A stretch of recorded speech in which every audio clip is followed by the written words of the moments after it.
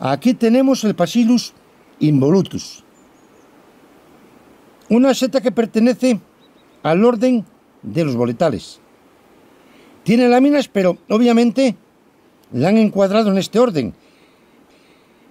Fructifica durante todo el año en distintos tipos de hábitat. La cutícula, que es precisamente la piel del sombrero, digamos que es de un color crema, yo diría más bien color canela, que cuando envejece, fijaros, adquiere una tonalidad más oscura, un ocre e incluso rojizo.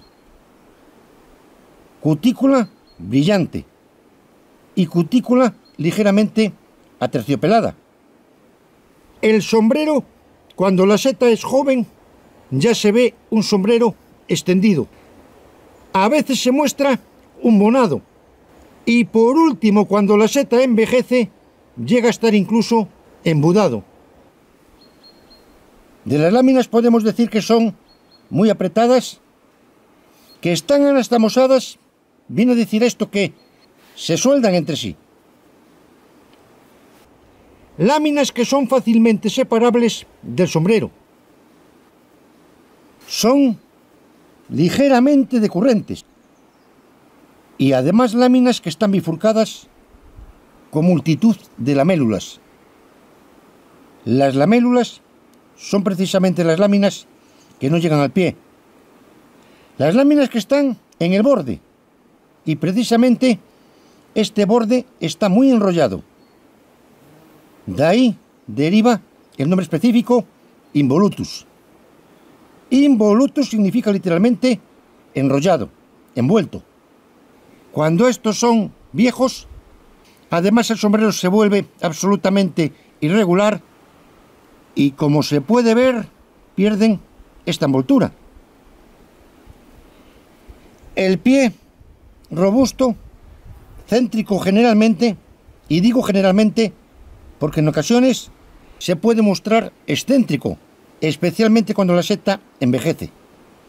Un pie con coloro con el sombrero, quizás algo más claro, corto, torcido y además adquiere un color más oscuro cuando se manosea. Algo que también le pasa al sombrero y, como no, a las láminas. Esto es un proceso de oxidación. Se oxida literalmente. Hay que tener mucho cuidado porque hay gente que confunde precisamente esta seta con los níscalos.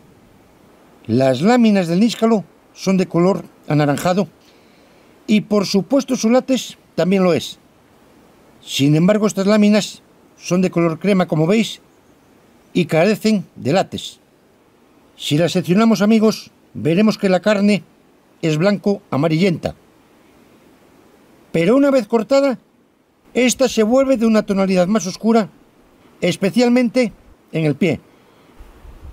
Amigos, acentúo precisamente las diferencias anatómicas y morfológicas de este carpóforo con otras comestibles porque precisamente el que tengo aquí, el Pasirus involutus, puede resultar mortal. De hecho, ha habido incluso micólogos que han fallecido al consumirla carpóforo apetitoso, del cual podemos decir que todavía, hoy en día, no se conocen las toxinas. Se piensa que tiene una que es la principal causante de estos desastres, llamada involutina. Pero realmente esta seta no intoxica. Esta seta produce en el ser humano, cuando la consume, una tremenda reacción alérgica.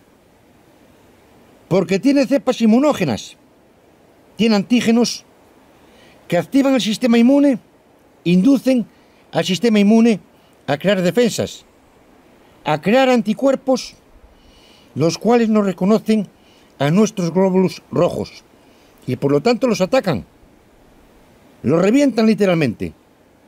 Esto se conoce como hemólisis inmunitaria que puede incluso llegar a causar la muerte.